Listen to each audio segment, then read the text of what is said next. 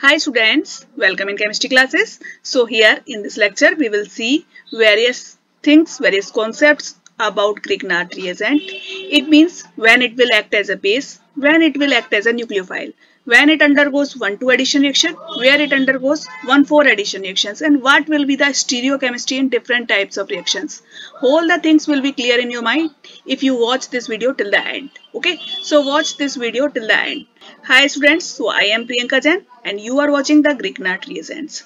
First of all see what is Grignard reagent. Actually it is a organometallic compound. Organometallic means when the carbon is directly attached to a metal and here carbon is attached to magnesium. It means it is RMGX. This is the general abbreviation of Grignard reagent. Here this alkyl group it attached to magnesium.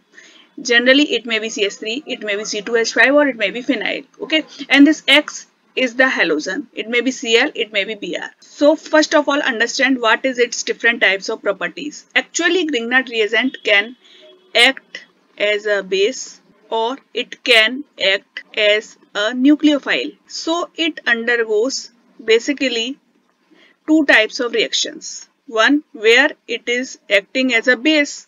Okay, it means it is showing acid base type of reactions. Second type of reactions when it act as a nucleophile. And when it act as a nucleophile, it may do two types of reactions. One is called addition reaction and one is substitution reaction. So we will watch all of this one by one. So first type of reaction is when the Grignard reagent act as a base. It means acid base type of reaction. See here, this is our Grignard reagent and this alkyl group is actually basic in nature. It can attack on any hydrogen that is acidic. It means if this hydrogen is acidic or it is called active hydrogen. If this is present, then the reagent RMGX can attack on this. Here, how it will attack? This is our hydrogen. Okay, this is active hydrogen. This reagent will attack on this and it will form the alkene. So this is the common type of reaction that is given by the Grignard reagent. As a result, this will formed okay? So this can this reaction can happen whenever the acidic hydrogen is present. Now how we can find out the acidic hydrogen? See here these all groups you can see these all groups this hydrogen is acidic this is acidic. These all that i have marked highlighted okay? These all hydrogens are acidic hydrogen. So if a hydrogen is attached to these all groups, then this is called the acidic hydrogen. And whenever this hydrogen is present, the alkyl group of the RMGX will abstract that hydrogen and it will form this alkene. Okay. And the rest of the portion will go like this. Okay. So this is the basic reaction that happens when a acidic hydrogen is present. The second type of the reaction the, that is given by the Grignard reagent is when it acts as a nucleophile. When the acidic hydrogen is not present, then in that case, our reagent will act as a nucleophile. Suppose we have given any aldehyde or ketone like this. Okay. Then this our reagent RMGX will act as nucleophile. Okay. Now see here. This group will move like this. Okay. There will be a positive charge on this carbon and this negative charge. Okay. So this can attack here. Okay. So what will happen? You are getting here C. At this portion this alkyl group will get attached okay this is R dash and here at this position we are getting OMGX okay this will be negatively charged and this will be positive charge okay now this may undergo the secondary reaction. It means it can get hydrolyzed. So if you have given H3O plus then it will get hydrolyzed and you will get ultimately this type of product. Okay this is a general reaction that can happen. Now when the Grignard reagent is acting as a nucleophile, it may undergo two types of reaction. One is called substitution reaction. Whenever you have given a leaving group, okay, if there is a leaving group in the compound, then there will be a substitution reaction. Suppose we have given acyl group if you have given OR group or you have given halide Cl okay such type of groups you have given then it can undergo the substitution reactions because you have given the leaving group so whenever there is a leaving group present then there can be a substitution reaction how it will happen? See here. Suppose we have given R C double bond O Cl okay. And this is our Grignard reagent. So what will happen? This will attack here. This bond will move like this. Again this bond will come here and this Cl will leave out. Okay. So you are getting R C double bond O R dash plus Mg Cl X. Okay. Similarly another reaction may happen if you have given like this. R C double bond O O R dash. Okay. And here you have given R double dash MgX now what can happen? This will move in this manner. This bond will move like this. This will again come here and this will move out because this is a leaving group so you are getting R C double bond O and here you are getting R double dash plus Mg X O R dash. Okay? So these are substitution reaction and this happens whenever you have given a leaving group.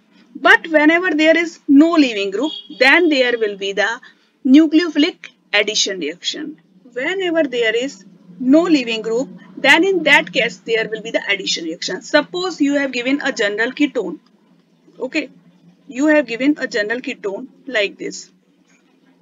And here you have given RMGX. Then what will happen? This will move like this and this bond will move here. Okay, so what you are getting? You are getting here, here O minus and at O minus you will get attack MgX and here you will get R okay and this is R double dash then it will undergo water hydrolysis and you are getting the alcohol in this manner this is the reaction that is happening with ketone but this type of reaction can also occur with ketene if you have given this type of group then also occur this reaction if you have given isocyanate then also this type of reaction occur. If you have given cyanide, then also this type of reaction occurs. How this will happen? See here. If this is given to us, ketene, then RMGX will attack here. You are getting CH2 double bond C. This R is attacking here. This bond is moving like this. You are getting here OMGX and here R. And then you are doing its hydrolysis. So you are getting CH2 double bond C R OH. This can undergo tautomerism. So you are getting CH3 C double bond O R. Alright. Similarly, if you have given this isocyanate, then how the reaction will happen? This will react with R dash MgX. What is formed here? this will attack on this this will move like this so you are getting R and double bond C OMGX R dash this can undergo water hydrolysis so you are getting R and double bond C OH R dash this can undergo tautomerism so you are getting R NH C double bond O R dash. Okay, so this will be your product. Similarly, see here the reaction with the cyanide. R C triple bond N. If it undergoes reaction with MgX, RMGX, Grignard reagent, then what will happen? This will move like this, this will move like this. Okay, so you are getting RC here R dash double bond N minus MgX plus it can undergoes the acid hydrolysis. So you are getting R, C, R dash and here you will get double bond O. So this will be your product. Now one very important thing that I want to tell you. This thing is very much important and that you should know for the CSIR NET exam that the Grignard reagent is acting as hard nucleophile if it is given in ether solution. If you have given a mixture of Grignard reagent and ether, then it is acting as a hard nucleophile. Okay. Suppose you have given alpha beta unsaturated compound. Okay. Then it will undergo one two type of addition reaction. What is the difference between 1,2 addition and 1,4 addition? See here. Suppose you have given RMGX. Okay. Here will be negative charge. Here will be positive charge. Okay. Then this attack at this position. Okay. And this bond will move like this. Okay. So what you are getting? You are getting here in this manner O minus. Here the R group get attached. Okay. Now this MgX will attack at its this position and you are getting a product like this. Now you can see this product is called 1-2 addition product. This is 1-2 addition product. But suppose you have given RMGX in the CUI then CUI is a soft reagent and it will make this RMGX a soft nucleophile. Now it behaves as a soft nucleophile. Okay. And if you have given a alpha beta unsaturated compound like this, then there will be 1,4 addition. It means now the addition will happen at this position. Okay. At this position the addition will happen. Okay. So what you are getting now, now your bond will move here, here at this position you will get attached the R group and at this position you are getting attached OMGX. It means you are getting a 1,4 addition product. I am telling you this with the help of one example. See here. Suppose you have given this compound. Okay. And you are treating it with CH3MgBr. Then what will happen? At this position, this will attack and this will move like this. So at this position, you are getting a CH3 group okay and at this position you are getting OMGBr this is 1-2 addition this is 1-2 addition because here the CH3MgBr is acting as a nucleophile when you have no, given no solvent then it is ether okay assume it it is ether now you are treating it with a acid hydrolysis H3O plus then at this position you are getting OH here CS3 and here CS3. So you are getting a 1-2 addition product. Similarly, one more example, if you have given and you are treating it with firstly CS3 MgBr in ether. Then what will happen? This group will move here.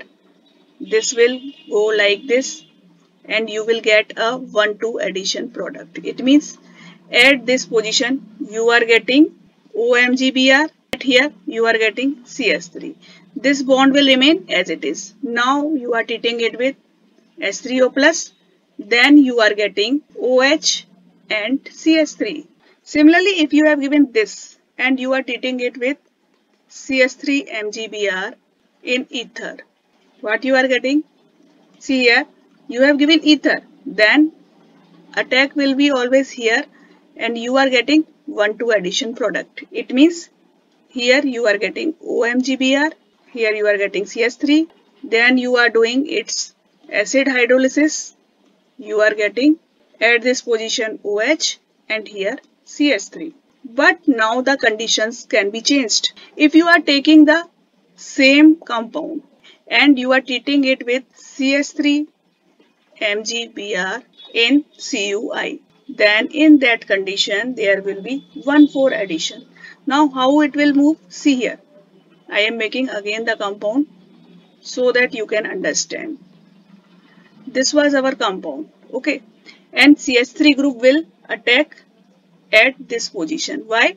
Because this bond is moving like this. Okay. There was double bond and this bond is moving like this. Okay. So here you are getting a positive charge and here this will migrate at the fourth position okay so bond is moving here okay at this position you are getting CH3 and at this position you are getting OMGBr again you are doing its water hydrolysis so that you are getting here OH and at this position CH3 and CS3 now understand the stereochemistry behind the Grignard reagent.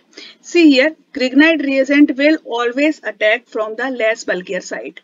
Suppose you have given a compound like this. Here you can see this is tertiary butyl group and that is attached above the plane. So what will be our stereochemistry? See here, above the plane side is bulkier group. Okay, so this will attack from below the place, plane side. It means it will attack from the below the plane side. So what you are getting? This group is above the plane. Okay, so there will be no attack from above the plane side. It means our group is moving from below the plane side. And we are getting OH group above the plane. I am directly writing it. Okay. So this is the product that you are getting. Now one more thing.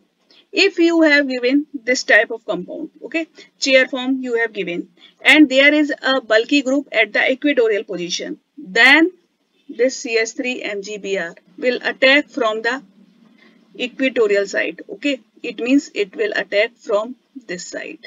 Here you are getting CH3 group at the equatorial side and OH group at axial side. Now see here, if you have given the Nor-Warnien type of structure, okay, then if at the bridge head position, it means at this position, if there is no group, it means hydrogens are present at the position 7, then the attack will be from the exoside. It means the attack will be from this side. This is called exoside. So attack will be from this side. It means our CH3Br, MgBr. This is our reagent. This CH3 group will attack from this side. Okay, so we are getting a product like this. This is the attack site. So CS3 group will come here and OH group will move like this. Okay. Similarly, if there are two groups at the bridge head position, this is the two methyl groups that are present at the bridge head position or the position 7, then the attack can be from the endo side. This is the endo side. So attack will be from this position, okay, and this group will move like this, okay.